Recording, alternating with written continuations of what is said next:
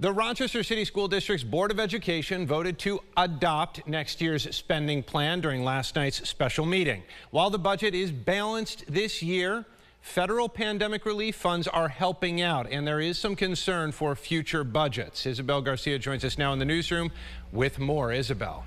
Yes, good evening to you, Adam. This is the first time in history the budget has exceeded $1 billion, with even more funds coming from the American Rescue Plan. And although several board members noted it was an atypical, smooth process this year, there will certainly be difficult decisions in the years ahead.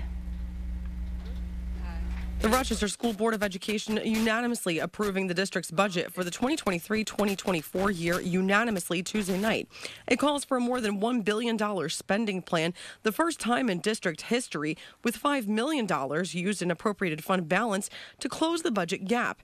It's an increase of more than 4% compared to last year's budget, with a major focus on student mental health and expanding food access to families. I will say that I'm relatively pleased at some of the changes that we're seeing in support of increasing the SEL supports or social emotional learning for our students.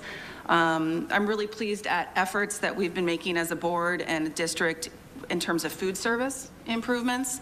Um, we have a ways to go, um, but these are some highlights. State appointed monitor Dr. Shelley Jallow was involved in this year's budget process. First appointed in 2020, she is tasked with guiding the district in a more financially stable direction after it had faced millions in budget deficits. Although this year's budget season is being described as rarely smooth, it is being cautioned to prepare for hard decisions in years ahead. Many of the concerns raised tonight are concerns that I have and, but I am willing to support the budget with the understanding and the confidence in the administration that they will address things like how the budget book looks, what the long-range plan uh, is formulating to be, um, how you're using your ARP dollars, um, how those different programs that are being funded by ARP are going to be monitored. And ARP, of course, meaning American Rescue Plan, and a request that the Superintendent Dr. Carmine Peluso noted he received from the State Education Department is that they're asking for the district to continuously check and update their long-range financial plan, looking ahead five years out.